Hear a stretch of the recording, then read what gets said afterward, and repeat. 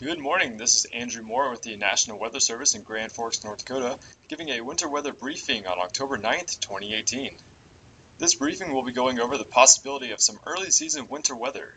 The main points are shown here and include uh, main hazards being snow accumulation of 6 inches or greater, along with wind gusts up to 25 to 35 miles per hour.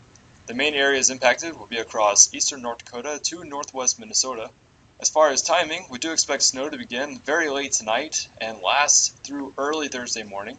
And the main impacts will be reductions in visibility, a few downed trees or tree branches, and maybe some isolated power outages. Here's a look at our current snowfall forecast. We do expect widespread amounts of 3 to 6 inches possible. However, locally higher amounts will be possible within this red circle.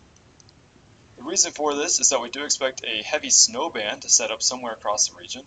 The snow band could be anywhere from the Valley City to Grand Forks up to the Roseau Baudette area, or it could be further to the south and east, closer to the Fargo Detroit Lakes or Bemidji area.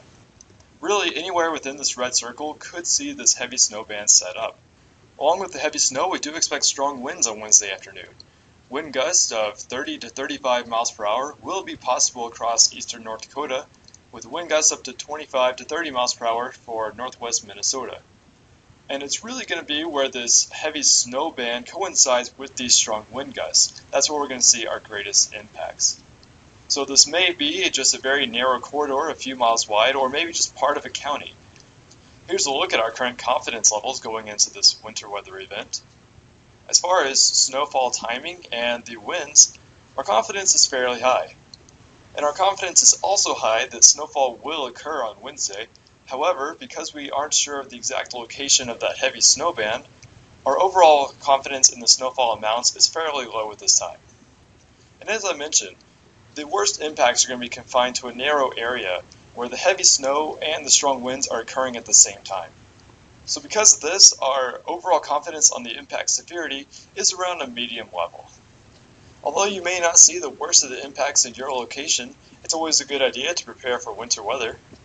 Although travel may be impacted, it's really during the Wednesday afternoon and evening commutes where we will see the most impacts to travel. Because of this, you may want to consider putting a winter survival kit in your car, and you'll want to use caution if you're driving through areas of poor visibility. So here's just a summary on this early season winter weather. Our main hazards will be snow accumulation of 6 plus inches in a few areas, along with wind gusts of 25 to 35 miles per hour. Although eastern North Dakota and much of northwest Minnesota will see snowfall, it's really going to be a very narrow corridor that will see the worst of the impacts. Snowfall will likely begin very late tonight and last through very early Thursday morning, and the main impacts will be reductions in visibility down trees or some tree branches and maybe a few power outages. But again, this will be confined to a very narrow corridor where the heavy snow and the strong winds are happening at the same time. And this concludes this winter weather briefing. Be sure to check back for more forecast updates and have a great day.